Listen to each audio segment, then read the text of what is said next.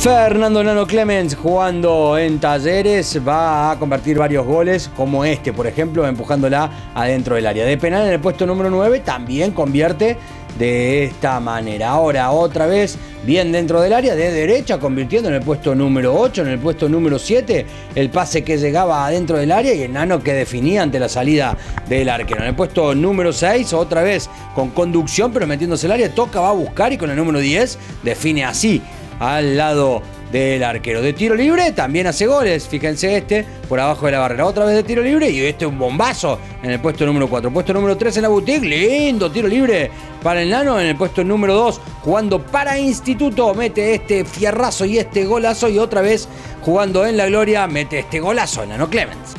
SQL. Amoblamientos de cocina. Chicos y chicas, ¿quieren rock? Rockerites. La querencia, buena carne, buen vino.